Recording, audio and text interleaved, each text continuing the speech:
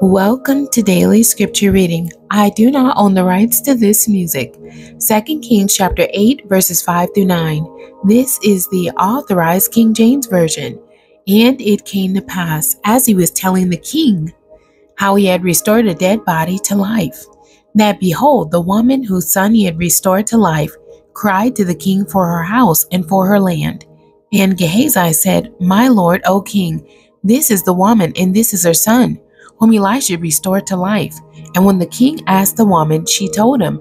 So the king appointed unto her a certain officer, saying, Restore all that was hers, and all the fruits of the field, since the day that she left the land, even until now. And Elisha came to Damascus, and Benhadad the king of Syria was sick. And it was told him, saying, The man of God is come hither. And the king said unto Hazael, Take a present in thy hand, and go, meet the man of God, and inquire of the Lord by him, saying, Shall I recover of this disease?